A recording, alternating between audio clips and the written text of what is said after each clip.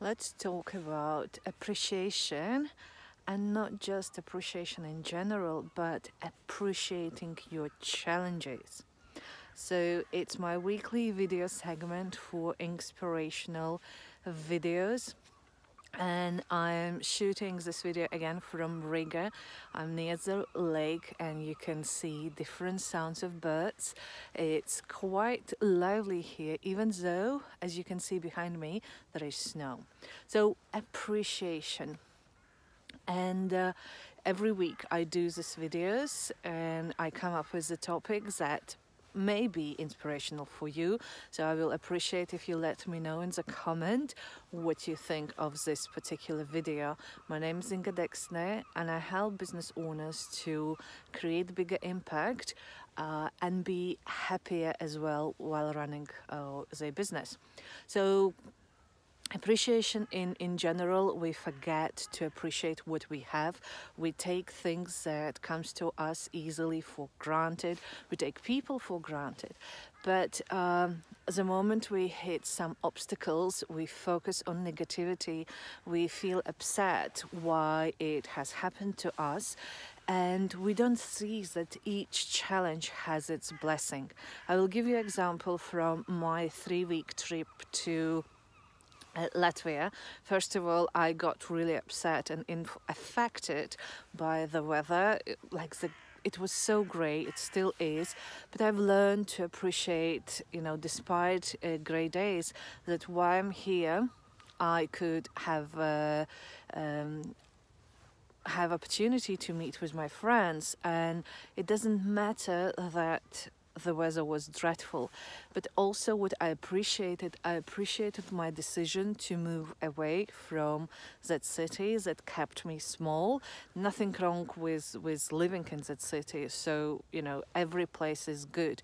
But it was small for me. It was small for my mission. Um, I wouldn't have run my business if I stayed in, in Daugavpils, for instance. So I appreciate my decision uh, 10 years ago to move to London. Then, you know, all the usual stuff. I have editing software left in London on my other computer. Um, I had better conditions in London to do all the videos.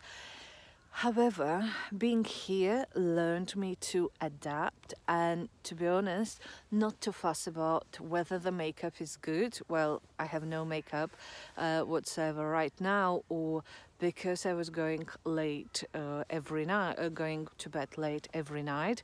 Um, you know, it also visible on my face, but it's not that important. So I've learned how to appreciate the message rather than outer conditions. And if I haven't had these obstacles that I encounter while being here, I wouldn't be able to appreciate it. I wouldn't be able to uh, move past it. As well uh, I had to do videos without any editing. So it's raw you get what you what I've uh, done from the first take. I don't have enough time to uh, have numerous takes so you may say it's better you know perfect video rather than what you are witnessing now that's fine it's your opinion and uh, for someone else it will be good enough. So, and this would be my message to you. If perfection stops you from moving forward, it's useless. Only, you know, if you want to improve something and you still move with your plans, then perfection is good. But if it stops you from doing something, there is no uh, use of being perfect.